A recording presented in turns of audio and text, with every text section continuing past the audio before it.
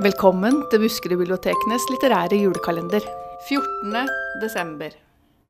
Mitt navn er Stig Elvis Furseth. Jeg er eh, først og fremst fotballforfatter. Har skrevet to romaner om eh, supporterkulturen rundt eh, sportsklubben Brann. Og skal lese et utdrag fra et stykke som jeg har skrevet i en fanzine som heter 'En fot i virkeligheten'.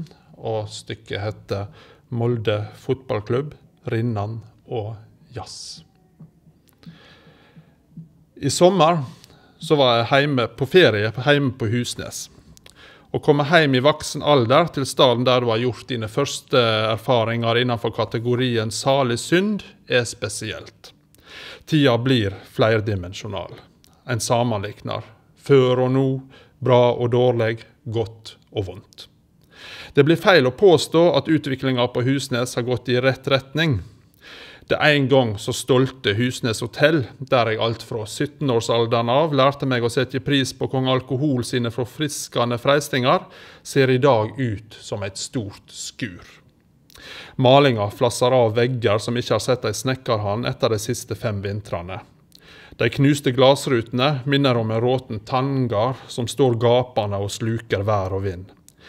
Inngangen til puben, som en gang var en vidgjeten stad for vill vest, ligger nå kun under for vill vekst. Hvis et hus ble til en zombie, ville det sett ut som Husnes hotell. Hva har så dette med Molde fotballklubb å gjøre? Jau, under en av ettermiddagsturene stoppa jeg opp på nedsida av hotellbygningen, og kom mer eller mindre uforvarende til å tenke på Ulrik Møller. Arketypen på en Molde-spiller med over 250 kamper for klubben. Alltid med knottene først inn i taklinger. Aldri gule og røde kort. Alltid sutrekjeft. Var ikke Møller kaptein også, spurte jeg meg sjøl, og et voldemortsk fotballminne mante seg fram på netthinna.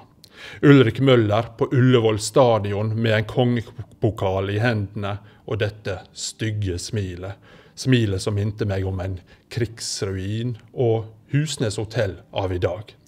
Skakingene i sjela av det jeg så, var så sterke at jeg i rein panikk la på sprang heimetter.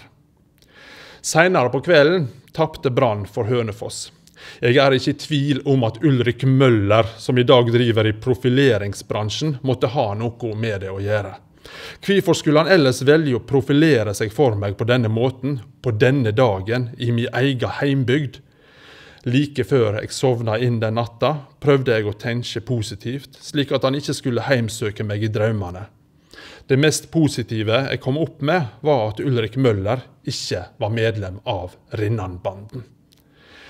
Det hender at folk flest spør meg hvorfor jeg hater Molde fotballklubb mer enn Vålerengen idrettsforening, mer enn RBK, mer enn Viking, mer enn Odd, mer enn landslaget.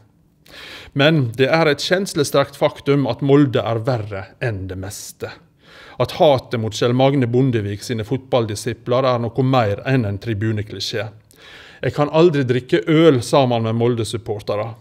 Og En av grunnene til at jeg ikke kan sitte og filosofere over om glasset er halvtomt eller halvfullt sammen med folk som abonnerer på Romsdals Budstikke, er at jeg har prøvd.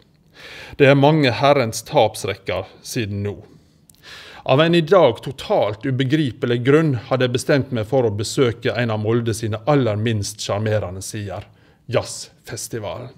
Denne musikkfesten som hvert år blir åpna med et opptog som prøver å likne Mardi Gras-karnevalet.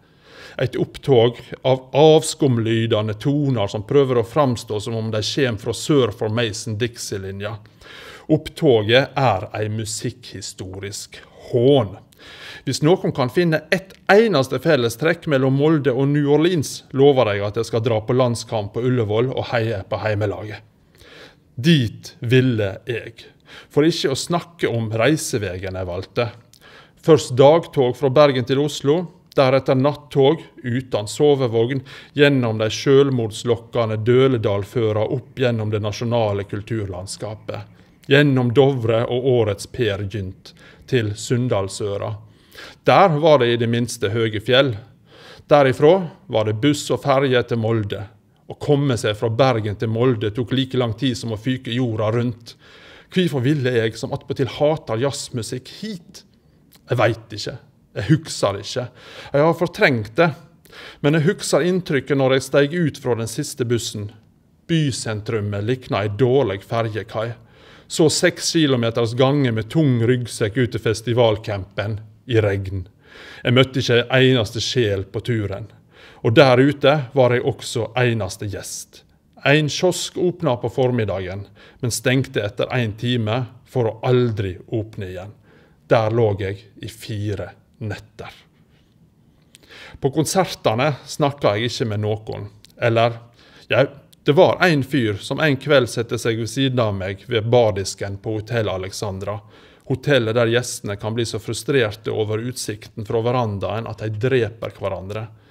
Han var på min egen alder og starta å snakke om hvor mye penger han hadde. En rikmannssønn sittende på kongebjørkas i grønne grein.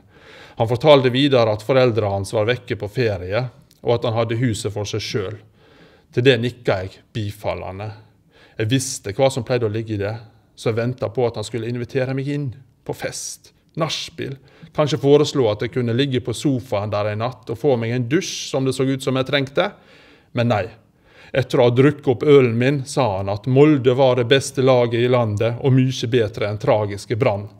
Før jeg rakk å registrere at glasset verken var halvfullt eller halvtomt, men fullstendig tomt, var han forsvunnet oppslukt av byen sitt sterkt karakteristiske rumpehullmørke.